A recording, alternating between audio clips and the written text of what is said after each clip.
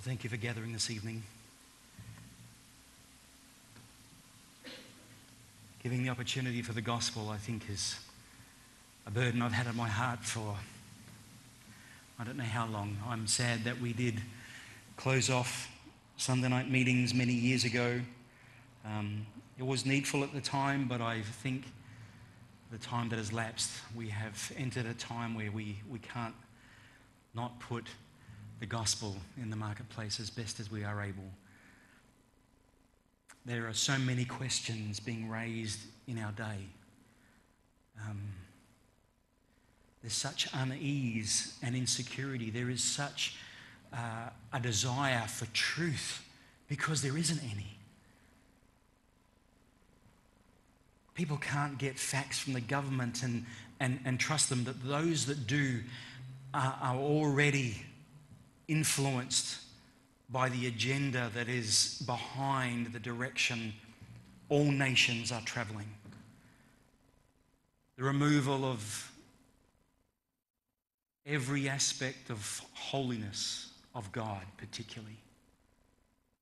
You know, we, we can certainly understand that there is a morality that people can have because we are made with the laws of God in our hearts. People do respond out of that to, to in, in a certain, certain way. And the, the sad part of that, they use that as a means of justification for themselves that they're not that bad. They're, they're not as bad as that person because they look around and compare themselves by one another.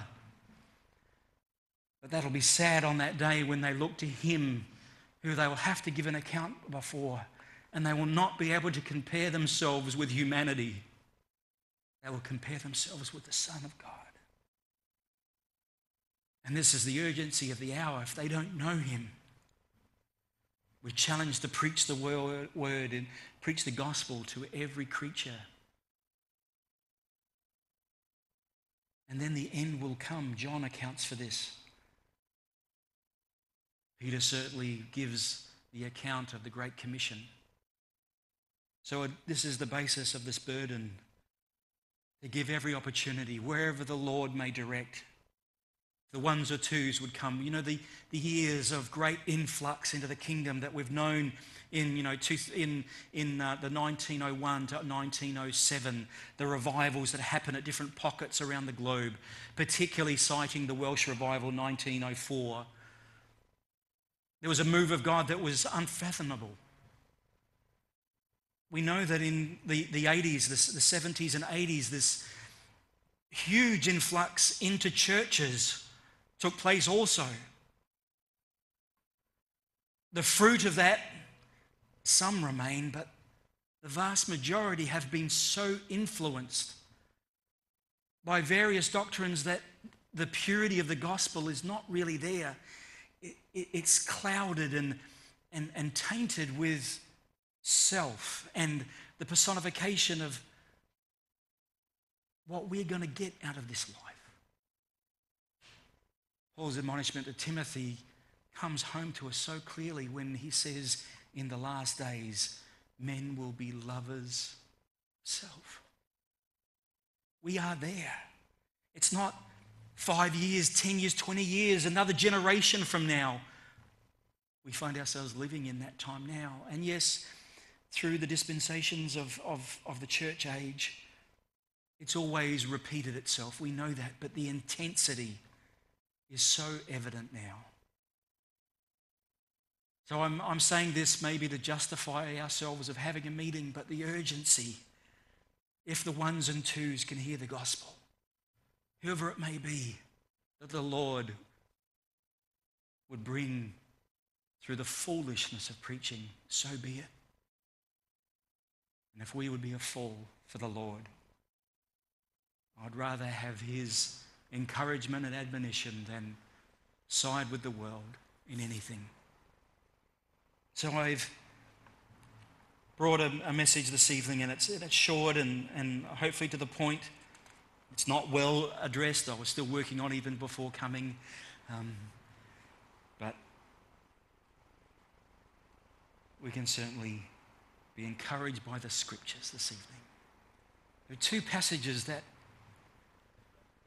have the same essence Dare I say, death is the underlying theme in both of these two passages.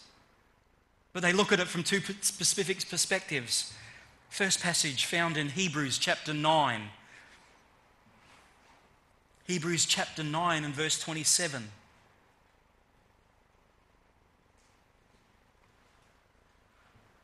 Then the second passage will be John 15, verse 13.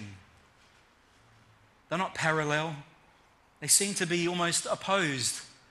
But the common theme, as I said, is this aspect of having to surrender one's life. When one's life is taken, death is the underlying aspect. Hebrews 9, verse 27 and it is appointed. Wow, God's appointed for men to die once, but after this, the judgment. And it is appointed for men to die once, but after this, the judgment. The second passage, John chapter 15, verse 13. John 15 and verse 13.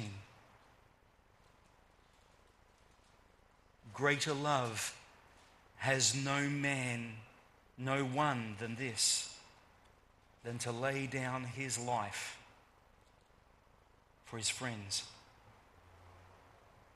Have you ever considered what it is to die? There are many crises through our lives in the life of every mortal. And man must account for what he knows of life. And then he is faced with the life that is to follow death. Poignant times of life, the death of a loved one, the bereavement of a spouse or a child, a, a brother, an aunt, an uncle, mothers, fathers. All of us have been touched and it brings to light this question that we are truly not able to fathom this mystery that is a veil blocking our view into what is going to transpire after we expire. Webster's dictionary, thanks to Mr. Webster, notes what death is or to die. He writes, to be deprived of respiration, of the circulation, sorry, of the circulation of blood and of other bodily functions, and rendered incapable of resuscitation, either by natural decay, by disease, or by violence, to cease to live, to expire, to decease, to perish and with respect to man to depart from this world. The account in Exodus brought this devastating separation of what was once the apple of a father's life and father's heart, their firstborn. And Pharaoh was confronted, Exodus 11, with the death of all of those in Egypt. Preceding that were the judgments. And the judgments of the gods that Egypt had decided to follow and submitted to. But the final judgment was the angel of death that judged every home This word to die is followed by of or by, interestingly enough. Men die of a disease, of a fever, of sickness, or a fall, of grief. They die by the sword, by famine, by pestilence, by violence, by sickness. Death is to be viewed, if you like, in a justification sense, it is a form of punishment. We know that in Roman times, The Roman Empire exacted this incredible means of taking the life, bringing shame, bringing mockery to those who were put to death for their crimes. They were judged. Seemingly, the Roman law saw to it to ensure that those who were to be hung on a tree accounted for everything that they did. In contrast to that, we find the passage in Romans chapter 5 and verse 6 in due time or in the right time, Christ died through the means of the cross, a cruel Roman cross. Who did he die for? He died for the ungodly.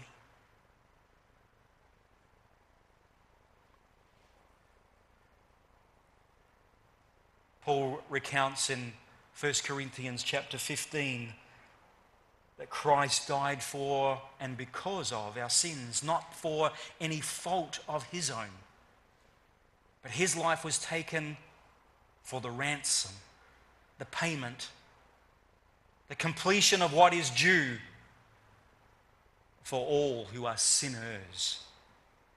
And Paul says he writes this according to the scriptures. Christ died, was buried, and on the third day, Christ rose again from the dead. And it's attested to not only by the apostles, but by this one writing the account. Paul attests to it. One, as born out of due time, he sees the resurrected Christ who spoke with him. Paul, Paul, why is it that you are persecuting me? Why kick against the goads? And Paul is con- confronted with the glory and the splendor of this one who had no sin, but took the punishment of sin upon himself.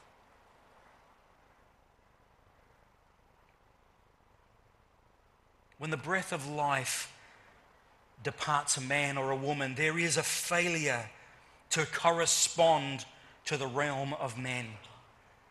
It's been coined, and I've heard it said death is a failure to correspond. No wrongs to be righted, no forgiveness to be bestowed on one who might have erred in one's life. No looks of love, of compassion can be given. No soft caress to be administered to comfort. No further voice, no sound to be made following death. No fist of defiance to be waved against his Maker. No further arbitration for self justification.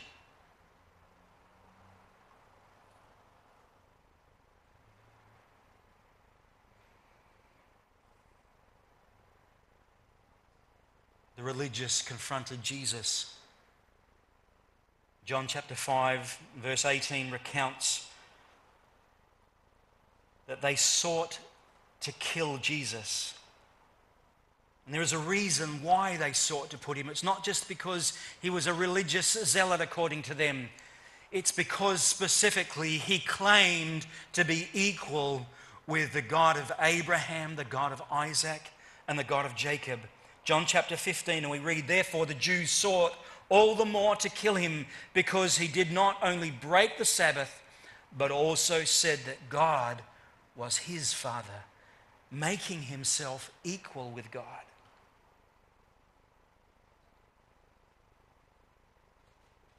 This brings into focus this verse that we brought first. Hebrews 9 27. And it is appointed for men to die once.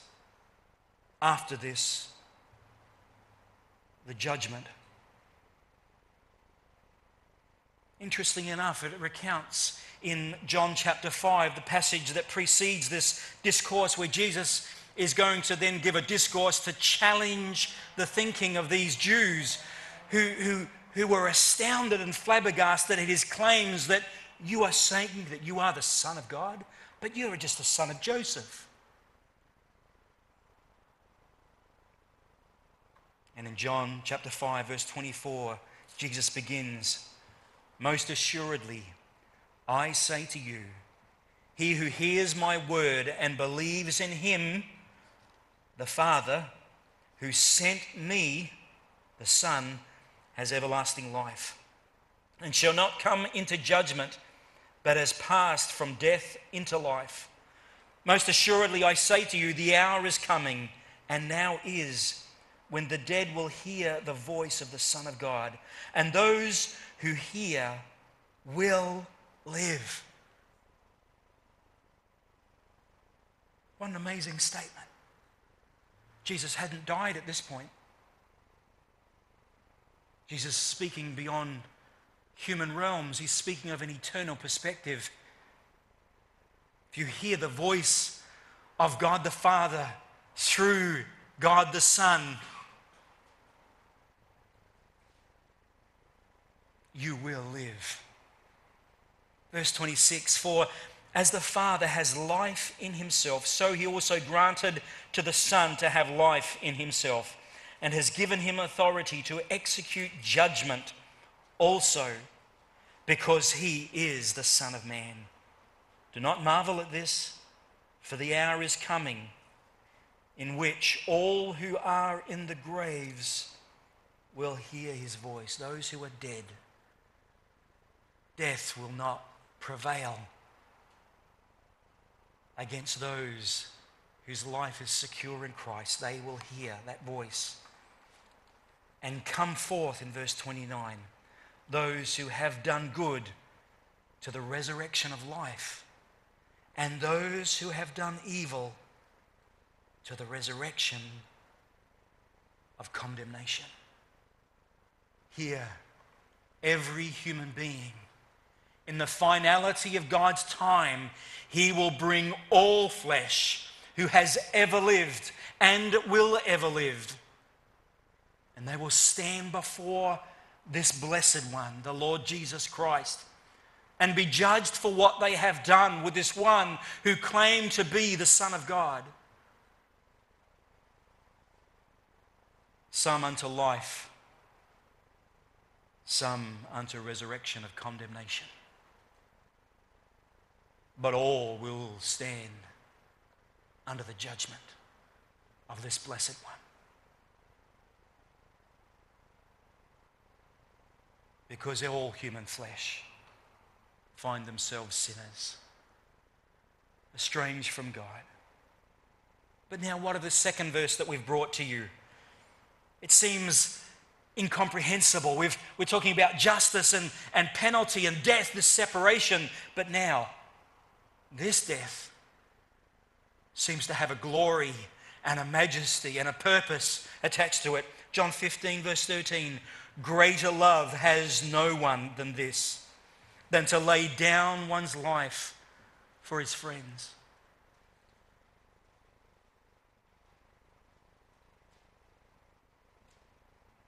We've just begun on, most of us really completed the celebration of the remembrance, the Australian New Zealand Army Corps, who have secured, even with their own lives, freedom. Freedom that we have been resting in for 70 plus years.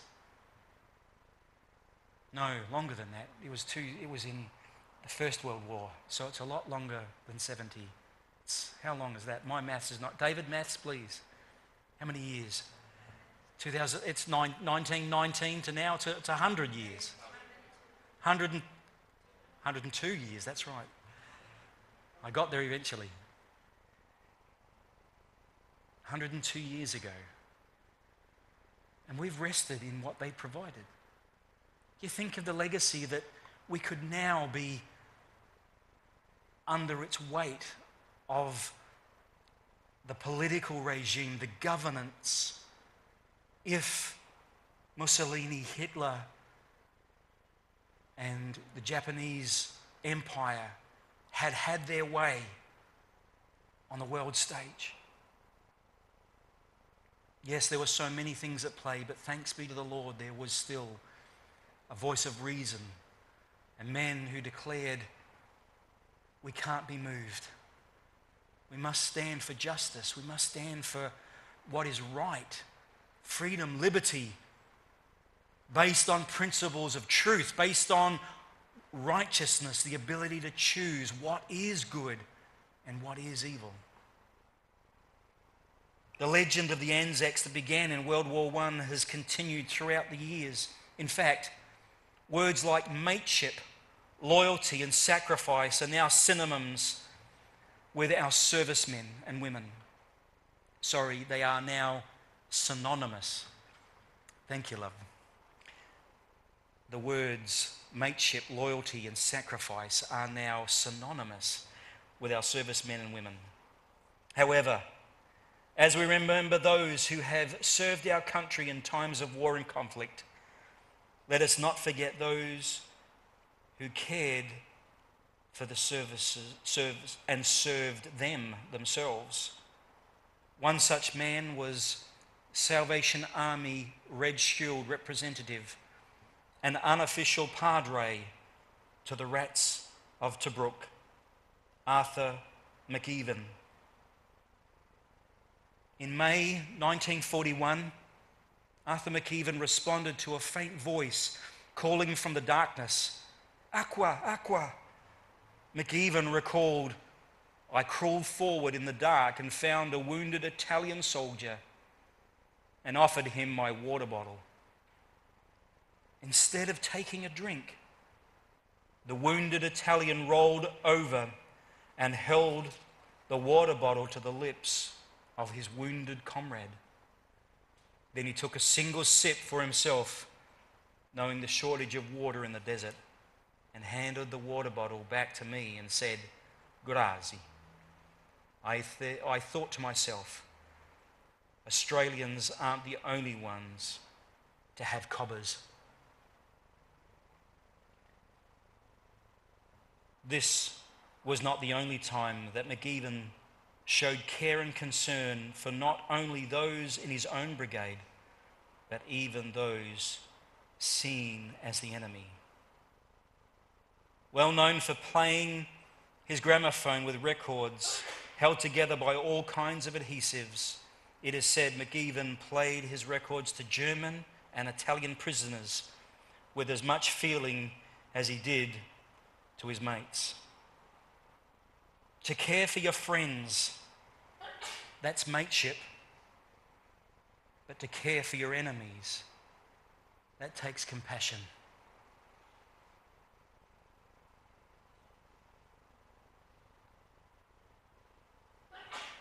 And this was the key to this love and compassion for both his friends and his enemies. This verse holds true. No greater love has a man than to lay down his life for his friends. There's this phrase, greater love. That greater love must be understood in the context that it was given. For there's no greater love on display than the love that Christ demonstrated towards us when we were still sinners. Because John 3:16 says as we know so readily for God so loved the world its entirety even in its sin and its degradation he loved the world that he gave his only begotten son that whosoever believes in him, that is, in Jesus Christ, shall not die, but have everlasting life. For God sent not his Son in the, into the world to condemn the world, but that the world through him might be saved. Greater love. Greater love being demonstrated. The writer of that same gospel John writes many years later, even on the Isle of Patmos, where he was uh, alienated and subdued to uh, imprisonment, confinement on the island of Patmos. And he's obviously received letters of correspondence from those who are in Christ and asking Him questions about how do we know those who are truly saved, those who are truly following Jesus Christ? How can we test it? And John writes this after writing that passage, For God so loved the world. He writes this in 1 John chapter 3 and verse 16. By this we know love because he laid down his life for us. We ought to lay down our lives for the brethren. What a contrast of two passages death, which brings justice and judgment, death that brings honor and glory to the one who showed greater love. Has no man than this, and to lay down his life. Yes, our soldiers laid down their lives, and we, we rest on this measure of grace which seems to be coming to a very abrupt halt. Because that which we love and that which we hold dear is being removed, and we are now faced with a decision when we do die, for it is appointed unto man once to die, and then the judgment. Will we be appointed our portion with those who will earn, inherit eternal life, or those who will earn the reward of their self justification, eternal condemnation? That question must be posed and we must answer. But how can we affirm that we are sitting and resting in what Jesus has provided? Well, we can look to these three main points in conclusion. The three points that will help us equate what Christ has done, where I stand today, and what I need to do about it. The ABCs of the gospel. Firstly, number A, A, admit. A for admit. You are a sinner. Jesus died for sinners in your admission, your acknowledgement that you are lost, that you are a wretch, that you are ungodly, and you are a sinner.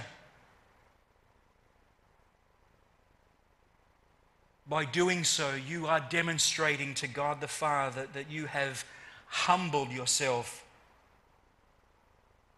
to the law of God that brings conviction of sin. You have heard that there is a way that you must choose.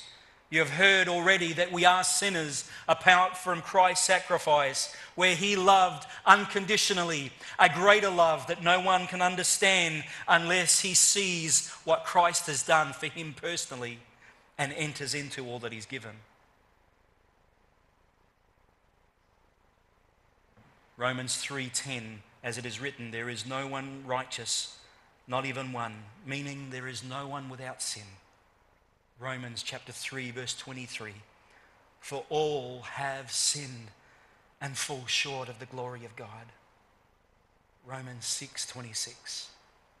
For the wages of sin is death, but the gift of God is eternal life in Christ Jesus our Lord. This is why Jesus shed his blood for your sins and died on the cross for your sins. Your admission requires a response, and that is repentance. Repentance towards God the Father, for it is to Him and only Him that you have sinned against. Repentance means to change your mind, to change your attitude, your soul, to change your will, and turn from all sin to follow the Lord Jesus Christ and everything that He has written to us and follow it to prove that you are a disciple of Jesus Christ. A, for admit you are a sinner. B, believe. Believe Jesus is Lord. Romans chapter 10, verses 9 and 10 that if you confess with your mouth the Lord Jesus and believe in your heart that God has raised him from the dead, you will be saved. For with the heart one believes unto righteousness, and with the mouth confession is made unto salvation. Risen from the grave to defeat death, because the wages of sin is death. Jesus paid our debt in full when we believe that He is Lord. B for believe. A for admit. B to believe Jesus is Lord. And C call upon the name of the Lord Jesus. Romans chapter 10, verse 13. Everyone who calls upon the name of the Lord will be saved.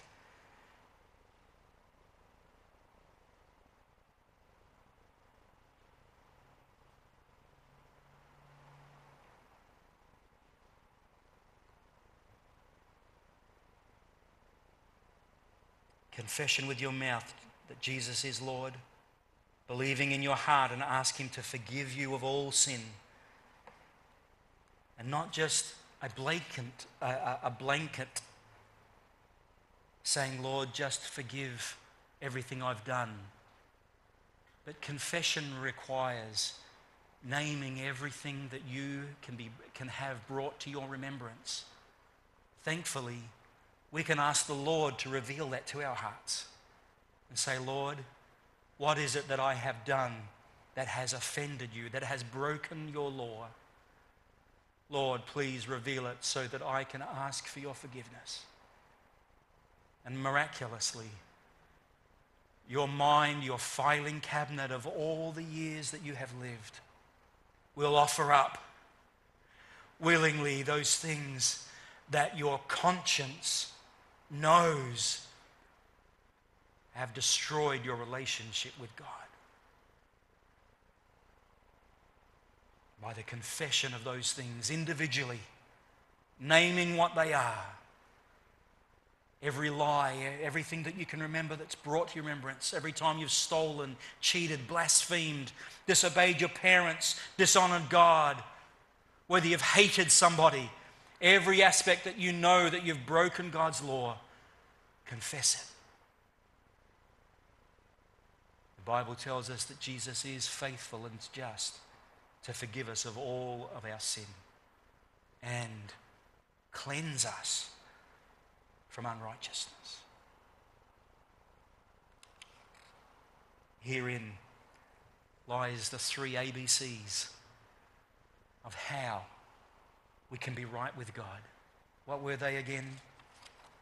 A, to admit you are a sinner. B, believe Jesus is Lord. See, call upon the name of the Lord Jesus. Heavenly Father, we thank you that we have looked to your word. We see these incredible contrasts, Lord. It is appointed unto man once to die and then the judgment. Yet at the same time, there is a glory revealed in the beauty that no greater love no greater love has a man than to lay down his life for his friend. Lord, I pray, show us this love. Show us what you have done. Show us where we stand. And Lord, I pray, reveal to us every wickedness in our heart that we may confess it and know that we can be transferred from the kingdom of darkness into the kingdom of light. It is a work that you do miraculously for those who will call on the name of the Lord. They will be saved. Saved to the uttermost, we pray, Lord. In Jesus' precious name. Amen.